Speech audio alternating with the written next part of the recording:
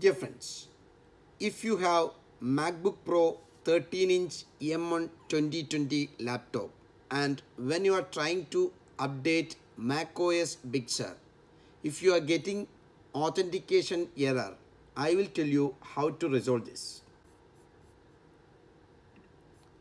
So if you are going to the Apple symbol and click on about this Mac and uh, click on this software update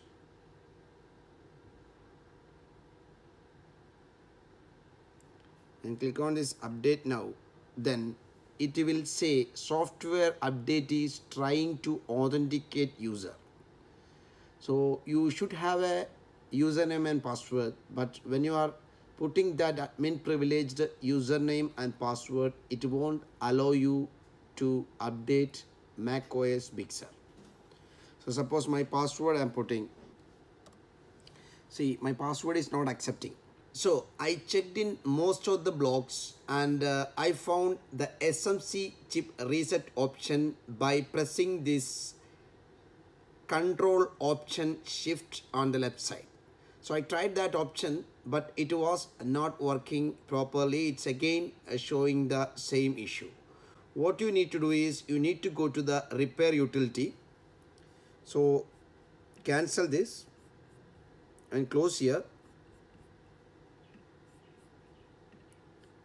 then shut down your Mac.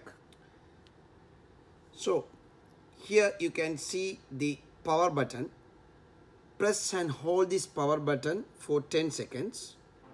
So it will say continue holding for startup options. You need to hold the button. So it will show you loading startup options. So you can click on these options, click continue so it will go to the repair utility. So this is the repair utility. You need to click on this reinstall macOS Big Sur and click on this continue button. And click continue here. Agree on it. Agree.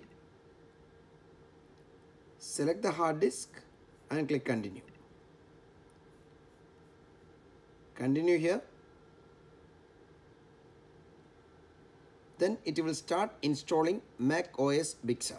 So I'm updating from 11.0.1 to 11.1. So this is the only solution I found. You can try it out and you can comment in the comment box. If you found any other solution, please comment in the comment box. That's all for today. Thank you for watching my video. Please do subscribe for more videos.